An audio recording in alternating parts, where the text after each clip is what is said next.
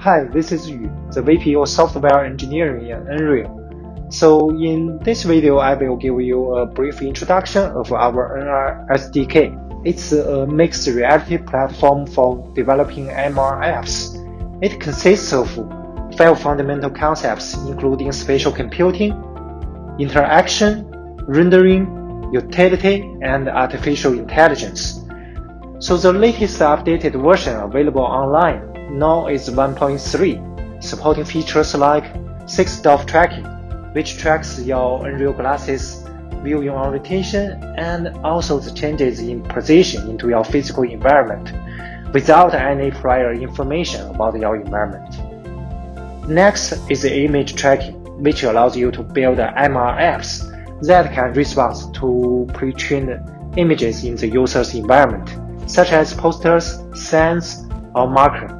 Regarding of rendering pipeline, Nreal has also done lots of work to optimize the rendering performance and to minimize the latency.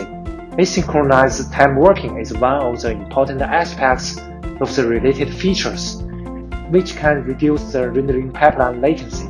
It uses the latest pose to do the reprojection before the vsync. NRSDK predicts the head pose for the next few milliseconds. The latest pose that used for ATW is actually the predicted one at the time of vsync. Also, 1.3 version supports plane detection, meaning the glasses can detect flat surfaces like a table or the floor.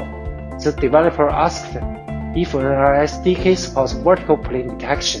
The answer is yes, surely it does.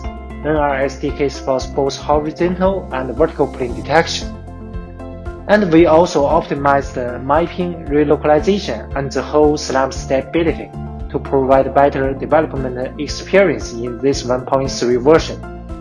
We got lots of developers asking about when head tracking will be supported on NRSDK. I am here to tell you that it will be available in our next big update NRSDK 2.0 together with the support of Anchor. So currently we plan to release it at the end of June. Our team is working hard to deliver all. Stay tuned. I will see you in the next video for the 2.0 update.